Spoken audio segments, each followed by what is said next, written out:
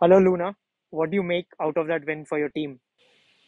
I think uh, we always try to play good. Tonight we performed really well. We are so happy because finally we got three points and looking forward for the next game.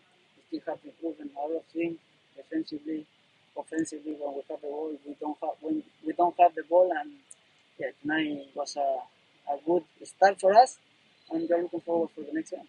What was the message from the coach before this game? Always the message from the coach is to be aggressive when we have the ball, to try to play good football, attacking football.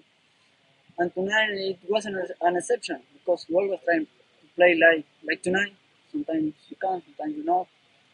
And tonight I think we performed very well. I'm happy for that, but we have to forget this game and focus in the in the next one.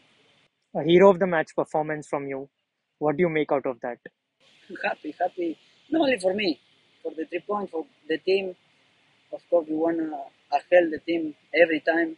Tonight I make two assists. That's good for me, good for the team, and for that I am happy because we get three points.